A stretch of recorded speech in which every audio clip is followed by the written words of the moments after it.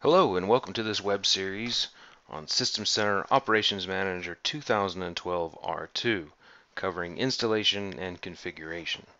My name is Daniel Queen and in this series I'm going to be taking you through the basics of setting up a brand new System Center Operations Manager 2012 R2 environment uh, complete with a few of the extended features. Uh, you're watching part one which is an introduction and a brief overview to this series.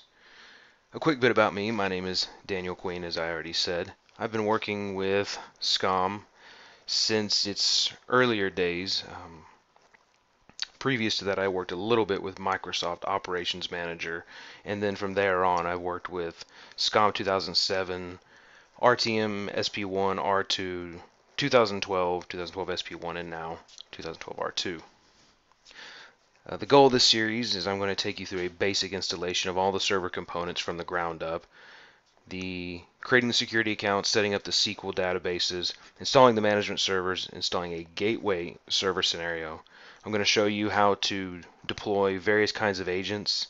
I'm going to show you how to deploy um, Windows agents using the console, Windows agents manually installed. We're going to discover some network devices, and I'm even going to show you how to set up the Unix slash Linux cross-platform agent using the new CIM provider that they provided in uh, R2.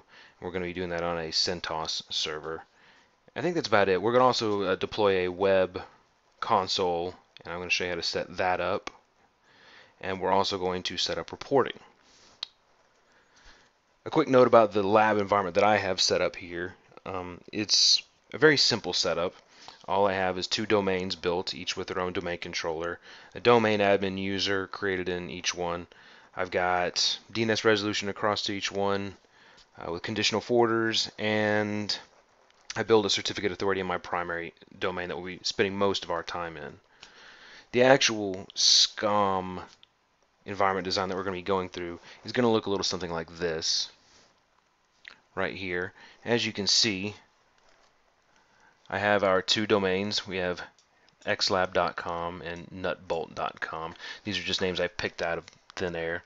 You can see over here we have one management server that we will be working with here. You can add more than one management server um, as your needs for load balancing increase or high availability. Just for the purposes of this lab, we're going to be doing one. We're going to be configuring a SQL server using SQL Server 2012 SP1.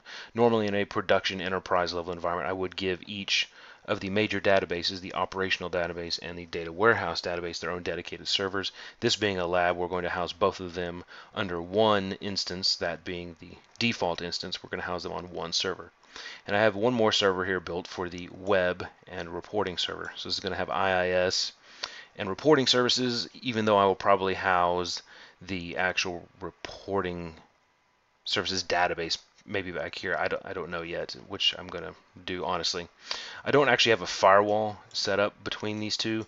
Uh, you might actually have a firewall in your scenario. This is really just signifying that these two domains have no trust, which is often the case why we would use a gateway server. Which brings me to my next point. I have a gateway server, which is just a low powered server over here in this other domain that is, for all intents and purposes, a proxy server for monitoring individual agents in a domain where we don't have a two-way trust and we cannot Kerberos authenticate between the management server and the agent. So, you know, we will have agents out here that will speak directly to this management server, and these gateways will speak to these agents will speak to the gateway server, which will talk through here, either a firewall or just a cross domain using an SSL certificate. I believe that's most of the considerations that we need to talk about. And with all of that said, we will go ahead and get on to part two, which is covering creating our service accounts.